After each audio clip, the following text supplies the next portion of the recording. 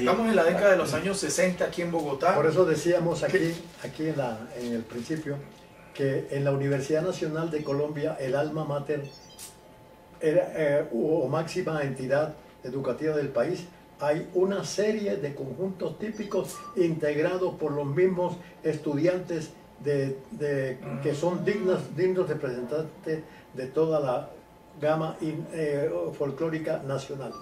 Ok, entonces había diversos, Claro, varios, varios claro. grupos. Sí, sí, sí. Bueno, maestro, usted que bueno está en Bogotá desde el año 58, ¿qué recuerda en esa época de los años 60? ¿Usted qué más hizo con relación? Estamos hablando de su vida y obra musical.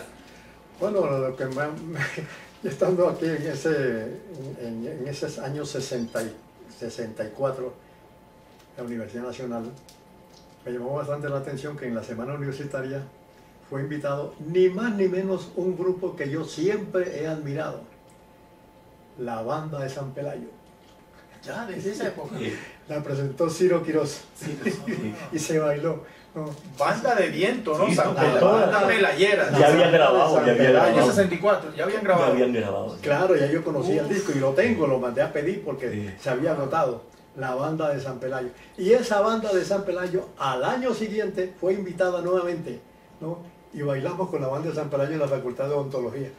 O sea que ya hay tradición de música del Caribe colombiano Claro. en los años 60, también impulsado por los mismos estudiantes de la época costeños. ¿no? Claro. Ciro Quiroz Sotero Sí. es un abogado, vive todavía aquí en Bogotá, sí. pero Claro. él, él es del Paso Cesar, creo. Sí, sí, y él eh, ha escrito libros sobre todo de vallenato, pero impulsó el, el porro y la música del sabanero. Cuando la banda, Él era la parte Cuando la vallenata. banda buenísima. venía. Ah, tenía antecedida de un grupo bailando cumbia. ¿Sabe quién lo, lo- lo- lo dirigía o, o lo encabezaba? Elvia Trujillo, una prima de nosotros. Me llamó bastante la atención. eh, Y, y no, y tocó en esa época, bueno, bueno, bueno. y bueno. gustaba mucho, lo- Claro, tenía aceptación. claro, ¿no? es que- claro. Sí. Es que en la costa se comenzó a apoderar de Bogotá, Ah. pero en un momento, de un momento a otro, y te cuento que nosotros prácticamente cada sábado en la Nacional había una fiesta. En la cafetería se llevaba una gran orquesta, la traían de Cúcuta, la traían de la costa o de aquí, y se hacían tremendas orquestas, se llevaban allá. Esa era una fiesta en grande, y hasta se, se agotaban las boletas. Entonces, siempre Sí. ha habido tradición en la Nacional Sí. de la Universidad Nacional de Música de varias Claro. regiones Sí. del país. Entonces, eh, bueno, estamos todavía en los años 60. Ronnie seguía estudiando ahí en la, en la Nacional. Sí, yo seguía estudiando en la Y, Nacional. y también a la par estudiaba química, pero también estaba metido en... Sí, yo nunca, de música. nunca dejé, nunca dejé la parte musical. Siempre estaba en los coros, siempre estaba eh, con el grupo de los caballeros de la canción. El mismo Ciro muchas veces me llevaba para que yo cantara unos vallenatos. Bueno, total que, que, que estábamos muy, muy involucrados. Yo creo que no dejé un, un solo día de cantar allá en la Nacional. Ya había grupos vallenatos en los 60 Sí, acá. sí, claro, sí. claro. Bueno, supongo que aquí estaba, bueno, sí, Pablo López, eh, Sí, y ellos también, ya- García, también eran eh, amigos, y ella- ellos ya. eran amigos de todos estos, de Ciro y, y de todos ellos. Mm. formaban sus Porque parrandas, pues sí. ya también, ya Pablo estudiaba Derecho Sí. y el otro también estudiaba, total que Sí. se conocían. Entonces, Ronnie, sigamos. Entonces, ¿qué pasó en esa década de los años 60? Estudio universitario y música. ¿Qué, Sí. qué pasó ahí? Ah, ¿Se graduó? ¿Qué? Sí, yo, eh, eh, casi todos nos graduamos, casi todos nos graduamos, pero nosotros continuamos. José dijo, hombre, continúen con el grupo. Y, pero ya había gente que, que le salía un puesto muy bueno para otro lado. Eh, el médico tenía que hacer un rural por otro lado. Claro. Total que cuando vino a ver, pues ya teníamos que estar reemplazando a la gente. Pero prácticamente los dos puntales era el artista y yo.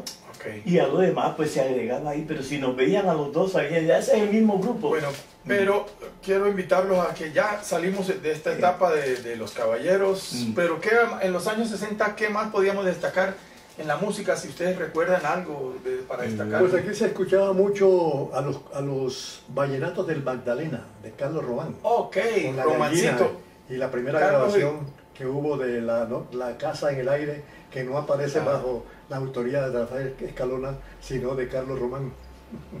Eso fue Escalona, ¿cierto? Es Escalona, Rafael. La, la- la- La casa en el aire. en el aire, sí. ¿Por qué se le atribuye eso a Carlos Román? Él la interpretó. La Ahí, interpretó. ahí estaba Aníbal Velázquez, ¿no? Sí, sí, Sí. ahí la interpretó. Y entonces en, en, en el autor figura Carlos Román y era Rafael Escalona. Sí. Entonces se escuchaba eso, ya, Aquí, ya se- entonces en. Bogotá el vallenato ya Aquí, venía de los años sí, sí, 60 cómo no. gustando. No, y especialmente pues todavía se oía Sí, Boveda. a, a- Sí. a ¿A Boveda? este- se oía Y a los alegres, los alegres vallenatos de, de Julio, Ah, Julio Torres, Torres. que ya había muerto, pero Sí. la música continuaba. Se oía a Daniel Santos con la Sonora Matancera, la Villo Ok. Caracas Boy, ¿no? los melódicos ya comenzaban a oírse. Pero cuando usted dice oírse que eran a establecimientos nocturnos, ya había eh, tabernas, No, bares. pues, eh, que- Y la radio, había radio, radio, todos Granados, radio, Granados, radio. Miguel Granados. Ah, Miguel Granados Y hacía unos buenos programas. de- o sea, Y que después Carlos Melo. Carlos Melo impulsó más la música vallenata, ¿cierto? Exactamente, sí. Y, sí. y, Y Melo, lo que es la sonora, la salsa, Ah, eh, los boleros, todo eso lo impulsó eh, en Granados. y Granados, sobre todo, fue la música cubana, ¿no? La música cubana y también, sí, sí, sí, sí. Ah, bueno. Entonces, y en el caso de ustedes, con relación al coleccionismo de discos en los años 60, ¿cómo fue eso? Bueno, yo, yo seguía coleccionando discos, aunque no tenía dónde oírlos. Yo seguía coleccionando. Llegué a, tener- a coleccionar 30 discos. Con eso cargaba yo para un baile. Nos invitaba a un baile. Yo llevaba los discos y tal. Ah, sí. En la, en la universidad, a mí me encanta cuando se hacían allá las, las reuniones, que el recibimiento de primíparos, ¿no? Todas esas fiestas eran por la tarde. Total, pues, que lo- los sábados. No todos los sábados, sino por, un acontecimiento especial, por ejemplo, como los primíparos.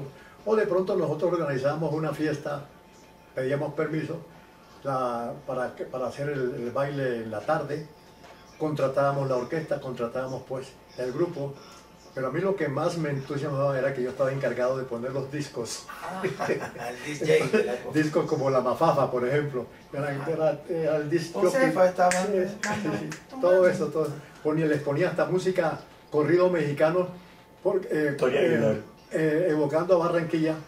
En Barranquilla ponían, había un baile para la gente con picó. Sí. Y entonces en ese baile se bailaba una guaracha, Un se bailaba un bolero, Sí. se bailaba un fandango, se bailaba un porro, se bailaba un vals argentino Ah, sí, también. y se bailaba un paso doble Oh, o se bailaba un corrido. Sí. Ves acá, aquí cuando yo ponía el corrido la gente eh, que- quedaba impresionada, quedaba Sí. espantada, pero entonces veía, hombre, sí se puede bailar y la bailaba. Entonces, Bogotá en los años 60, Oye, oye. ¿qué, qué dirían ustedes que te- tenía influencia de todo, de todo? Sí, de todo, sí. Bo- Bogotá ya comenzaba pues a tropicalizarse. Ah, ok. Eso ok, puede ser la palabra, sí. Muy bien, entonces, tanto la, la población normal, estudiantes, como también la Sí. alcurnia, todos Sí. ya aceptaban la música de baile. sí, Y Ah, ya había orquestas acá. Ese baile que nosotros llamamos cachaco Sí. fue desapareciendo poco a poco Sí. y hoy en día el bogotano Sí, la bogotana sí. Baila muy bien. Baila muy mejor que cualquier, Sí. cualquier Sí. cubano, y que así es. Sí, sí. Gracias a la influencia de esas Claro. culturas afro, Sí. afrocaribe, afropacífica que han venido aquí a Bogotá. Y esto se ha habido una confluencia y que, que ha dado como resultado que ya los jóvenes bogotanos de ahora ya parecen cualquier Sí, caribeño eh, lo, y lo que tienen me mucho da, sabor. lo que me da es mucho pesar que, que uno hoy en día, yo por ejemplo, yo busco las emisoras que, que pongan buen programa, así sea andino, así sea eh, la costa, así sea el Pacífico, me gusta, pero no, uno no encuentra ya prácticamente emisoras que, que lleven esa vanguardia de antes. Entonces, eh, eh, a, a la gente de aquí le tocó duro para aprender ese baile que hoy en día bailan muy bien, pero entonces prácticamente estamos volviendo a lo mismo porque nos están reggaetoneando seguido y, y- y- y la- las únicas eh, eh, emisoras que quedan de, de buena música y que variada también y, de buenos programas, eh, o la Tadeo Lozano o la Radio Nacional, pero las demás, y también las Javerianas. De- total en eso también estamos perdiendo mucho actualmente. La radio de esa época tenía más Muy influencia, musical, muy, muy musical. Sí, eso cuando ya eran las 3 de la tarde, la música de Radio Santa Fe y la música del otro no Ya hoy en día es, eh, eso las emisoras, todas las emisoras, las cadenas, no, no, Sí, sino sí, noticias y temas deportivos, y algún, pero de música. Bueno, estamos viviendo tiempos de redes sociales, otras generaciones, en fin. Bueno, Mm. les propongo, hablemos de los años, ya pasemos a la década de los años 70 o sí. Bueno, ¿cómo no? ¿qué pasó en los años 70? Maestro, en el caso suyo, ¿usted qué siguió coleccionando? Claro, ¿Siguió trabajando? claro, sí. sí.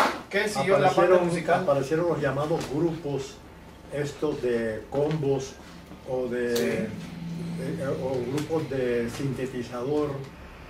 es decir, eh, grupos, por ejemplo, como los satélites, Ajá.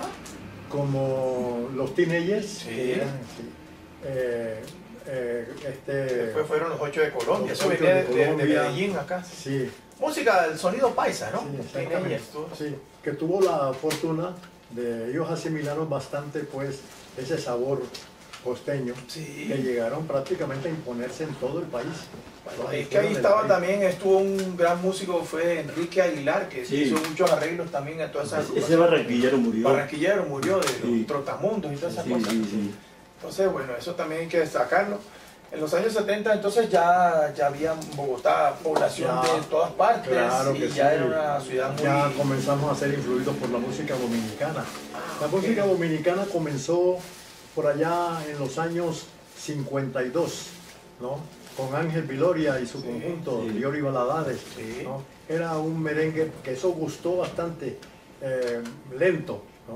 Lo que hizo Wilfrido. Vargas posteriormente fue agilizarlo, Sí, darle más, 80, más- sí. más- más rapidez, que fue también lo que se impuso pues, en los años 70, años 70 y años 80. Sí, bueno, entonces, eh, pero usted, digamos, en el caso suyo, en la parte musical, ¿siguió coleccionando o todavía no? No estaba haciendo eso. Seguí coleccionando, ya había adquirido un, había adquirido un tocadisco y se lo adapta- adaptaron a la- al, al radio y ya oíamos el disco. Me acuerdo, por ejemplo, que el primer long play que compré fue el de Juan Vicente Torrealba. Lindísimo ese, todavía lo tengo, ¿no? Me costó 20 pesos.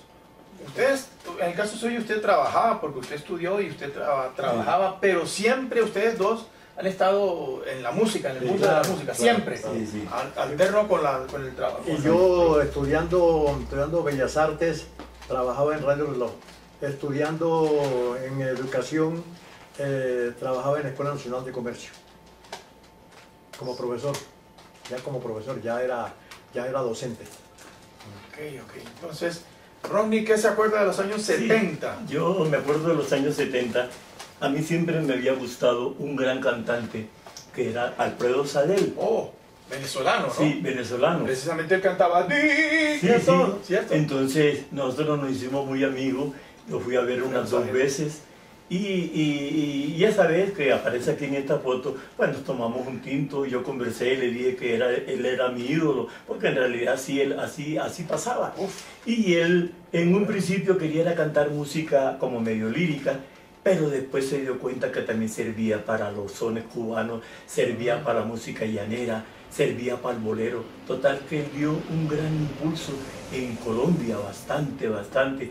Y para mí fue, fue muy placentero encontrármelo en la media torta, porque resulta que en la media torta yo trabajaba, duré como tres años con la orquesta con Leopoldo Rodríguez, acompañando a los cantantes ¿Cómo se llamaba la orquesta? la tremenda primero y después se llamó la fantástica. Entonces eh, eh, me encontraba con mucha gente bastante buena, me encontré con Sarita Montiel, eh, eh, eh, una, eh, la que está por aquí que sale mucho ahorita en, los, en las redes de esta Amparito Escobar, ella Ah. también iba un día, cantó con la orquesta, cogió la batería y la tocó.